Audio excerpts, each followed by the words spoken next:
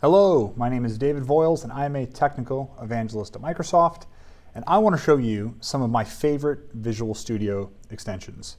Um, so these are just ones that I found along the way have really helped out uh, either with my productivity or learning how to be a better programmer. Um, so if you have some recommendations as well, I'd love to hear about them. I'd like to give them a try myself and take it from there. Um, but the first one I'd want to start with is code alignment. Now, code alignment, very, very simple, and it does uh, exactly what you think it would do. So I have a blog post um, where I illustrated how I use a lot of these, but I know that a lot of people find it easier to, um, to learn through videos from time to time, so I figured I'd walk you through step by step how I use some of these. So inside of Visual Studio, I have a JavaScript and HTML5 project running. So um, code alignment works perfectly fine on uh, HTML. So let me see if I can line this up. These are all my divs. I'm going to go up here to align by, and I can hit a number of the, these items up here. They've already pre-created for me. So align by equals, double equals, uh, equals equals. So I can make some changes there, even by quotes. But instead I'm going to say align by, and I can enter the character I'd like to use. So I might say type, right, because I want these to line up correctly. So hit type, hit OK, and there we go. All of my type strings line up perfectly fine. And you see, it just makes it much, much easier to read what is going on here. Even this with this href. So I'll copy, highlight all those, go up, align by, say href, and here we go. Those are lined up very smoothly too. So if I take a step back, it just it's much, much easier for me to read and visualize what's happening here. So inside some of my JavaScript, I can go in, and you see a lot of my functions here. Um, let me scoot down to something. Here we go. So I like to make it so in my variables, all of my equal signs align correctly. So if I bump some of these in, uh, random sizes, what it's going to do when I align by equal sign is it's going to take the one that's bumped over to the right, the furthest, and align everything to that. So I can hit align by equals, and there we go.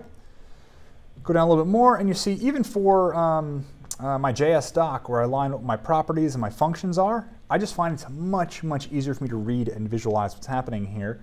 Um, but uh, for debugging in particular, I'm going to show you where it's very, very useful. So I'm going to go down a bit, here we go. So um, here's a switch statement where I'm setting the values for a number of these rooms that I'm using here for a, a game I'm recreating called Night Trap. So if I go down, you can see how large this switch statement is. So let's explore, say one for bedroom, hall, driveway.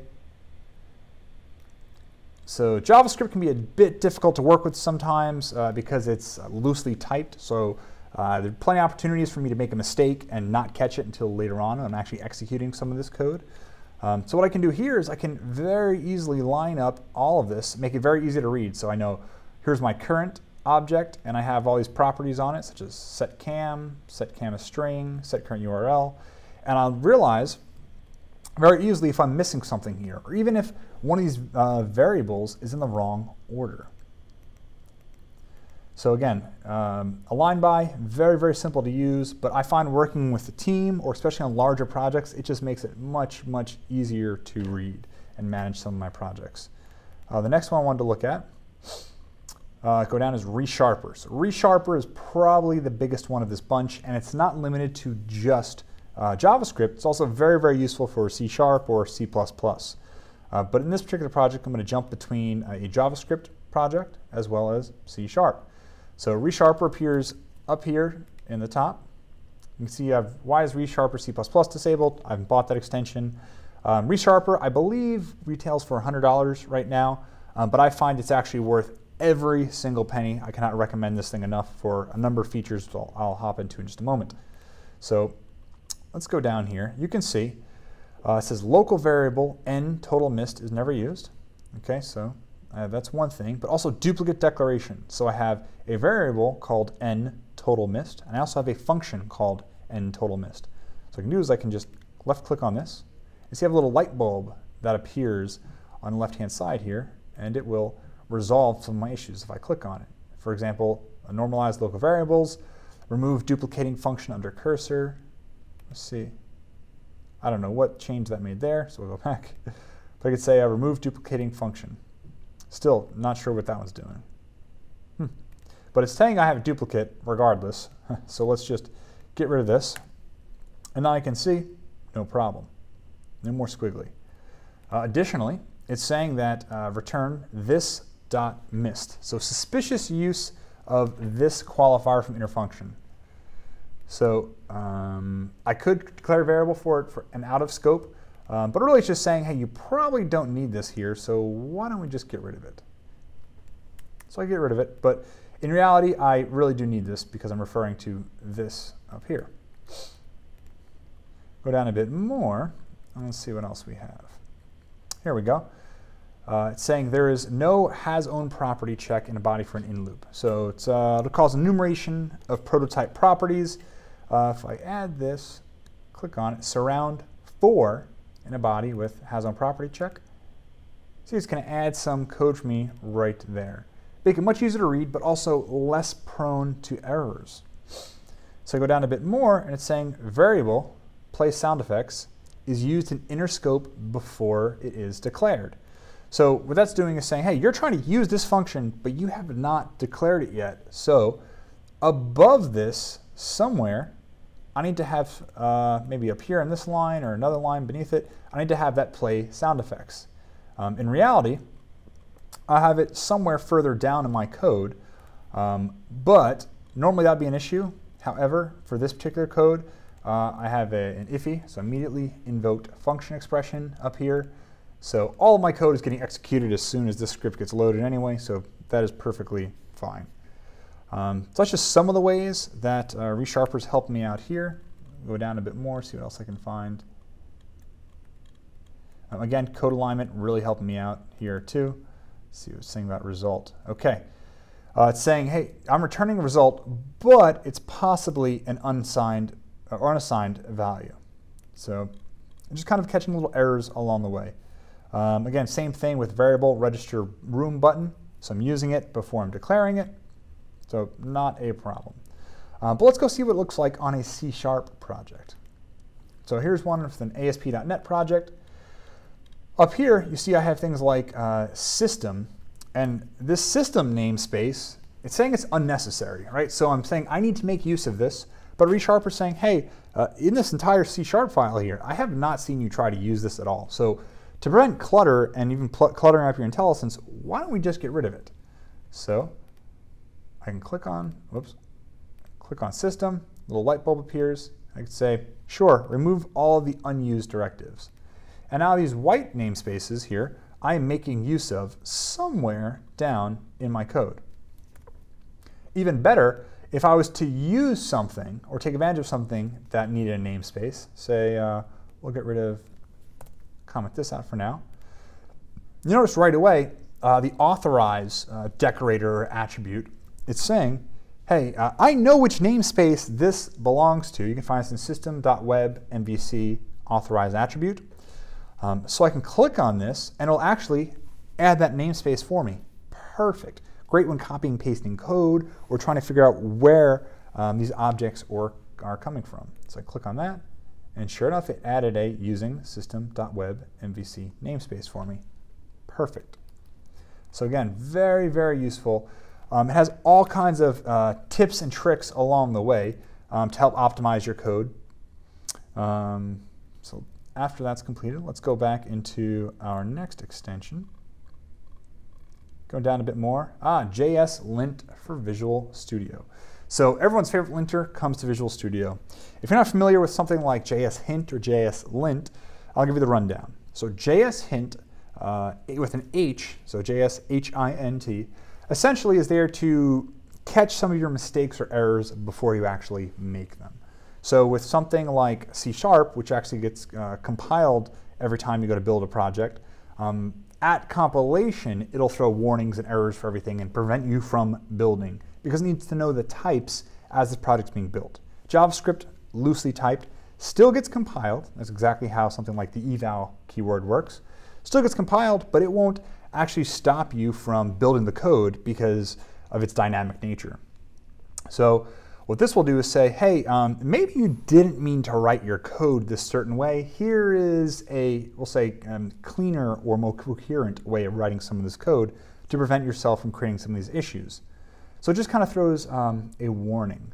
JS lint, however, will prevent you from actually building a project if need be. So it's um, a stricter JS hint.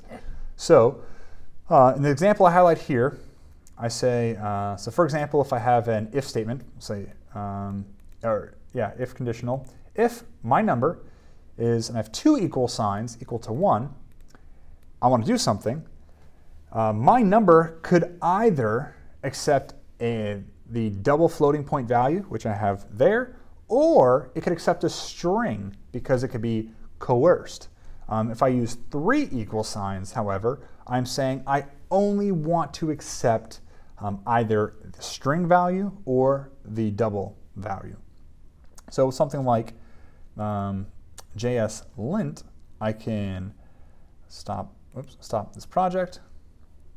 On the right hand side here, I can go over, right click, and say run JS lint, or have some project settings. So I can say output warnings as either messages, which um, aren't very strict. I can have them as warnings. So give me a little yellow warning down here. So you can actually see some of this. So give me a warning. Messages, nothing too bad. Warning saying, hey, you should probably take a look at this. Um, or I could have it go as an error. So um, what that does is it prevents me from really blowing my foot off and stepping on something bad here. So uh, maybe something such as what I labeled before, where I have two equal signs instead of three, I could say, whoa, whoa, whoa, if this code has two equal signs in any spot, do not build the project. Instead, I'm always going to need three. So in lint options, I could assume that this is in development, so it might be um, a little looser with what I'm doing. I could assume ES6, so maybe I'm using some sort of JavaScript 6 functions or functionality. Um, it'll let those things slide.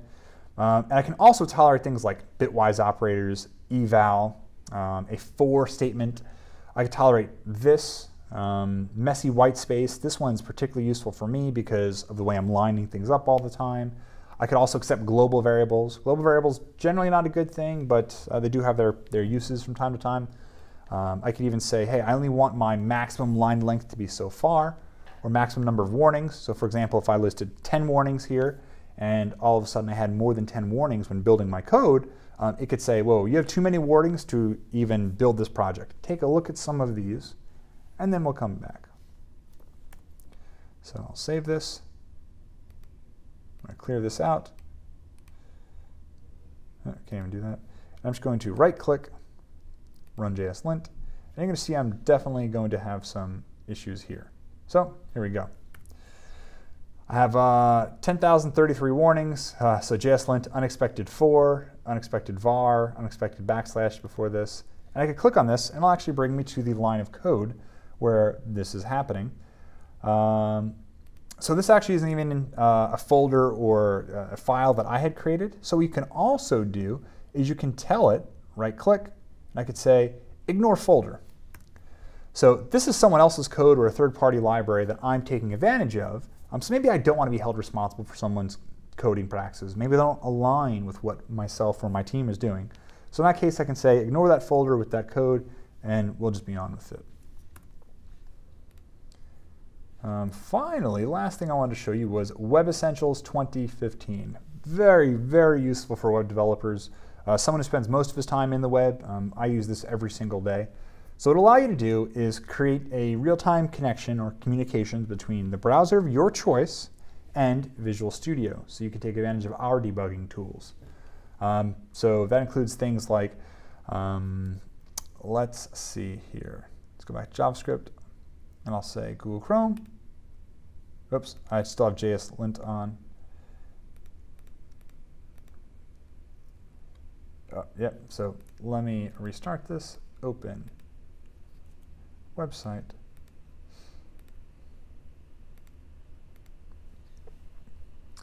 So I have an, uh, an, issue in this particular set of code, uh, which says object reference not set to an instance. Uh, it's just something that continues to happen over and over for me. So uh, yeah, let's run this to Chrome. And here's my little project. Gonna bump this over to the left, have Visual Studio here on the right. And what I want you to do is, I can hit Control, and it'll make this little toolbar pop up right here. I have Design, Inspect, Save Changes, and Auto Sync. I also have Auto Hide.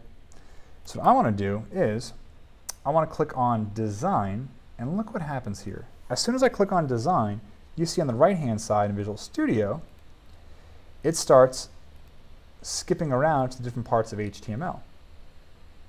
So as I hover over these objects, I can make changes or see this. Even better, I can click on something. So right next to this trap button, I'm going to click on that. The key selling point behind design is I can click on it and I can make changes in real time. So I will say I am making changes in real time. And in my HTML in Visual Studio, that's all being propagated in real time. See right here, I'm making changes in real time. Perfect for editing HTML. Um, also, I can make changes to the CSS. So I right click, inspect element. Right inside the browser itself, I can use the browser's debugging tools. And previously with style sheets, you can see all of my styles over here on the right hand side and which ones are actually being used or computed. Um, previously what I would have to do is I would uh, tweak my CSS a little bit, right? I'd make changes over here. Maybe maybe I don't want Helvetica. Maybe I want a, a different font. Um, I would go right down the font that I want, see how it looks inside the browser, and think, okay, it looks perfect. I Have my little notebook on the side, and I'd write down, okay, change font to whatever, whatever, uh, in this file, looks like Bootstrap minified CSS, on this file, at this line, um, for this particular class. Perfect. Then I go over to Visual Studio, make those changes. Kind of time consuming and really prone to errors. So this, instead, I can make changes to my CSS inside of the browser of my choice. So I'm not just limited to Chrome or Edge. I can use whatever works best for me and my workflow and have all of that saved inside of Visual Studio. So that's just one of the many, many selling points uh, behind um, Web Essentials. Um, so I implore you to go take a look at more of this, right? So we have uh, find unused CSS. Maybe you have CSS just bloating up everything here, making your project larger than it needs to be or more confusing.